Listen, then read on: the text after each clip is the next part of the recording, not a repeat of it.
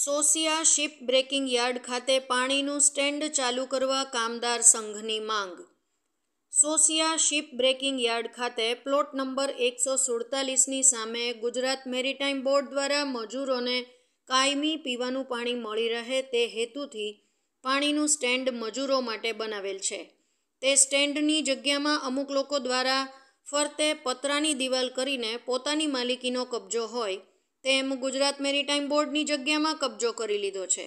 આ અંગેની ફરિયાદ મુખ્યમંત્રી ફરિયાદ નિવારણ સમિતિમાં કરેલ છે, જેમાં કલેક્ટર સાહેબે તારીખ ત્રેવીસ અગિયાર બે હજાર ત્રેવીસ રૂબરૂ બોલાવેલ, ક્યારેય પણ અમે આ લોકો દ્વારા મજૂરોની ખોલી અને મેરીટાઈમ બોર્ડની લાખો રૂપિયાના ખર્ચે બનાવેલી દિવાલ તોડીને ગુજરાત મેરીટાઈમ બોર્ડની જમીન પર કબજો કરેલ છે, તેની રજૂઆત કરેલ છે.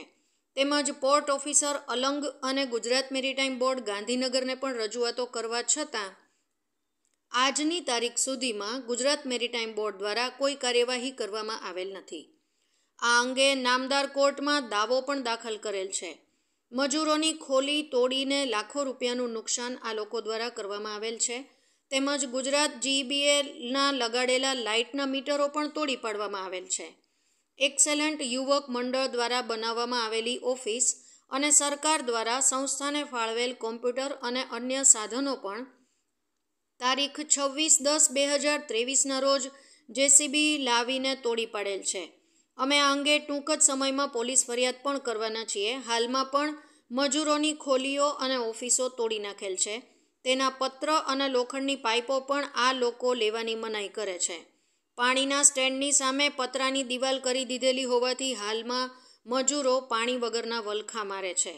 ગુજરાત મેરીટાઈમ બોર્ડ અલંગ સામે અમારી માંગ છે કે તાત્કાલિક આ પતરાની દિવાલ લઈ અને પાણીનું સ્ટેન્ડ ખુલ્લું કરવામાં આવે, જેથી કરીને મજૂરો પોતાના રોજિંદા ઉપયોગ માટે પાણી લઈ શકે.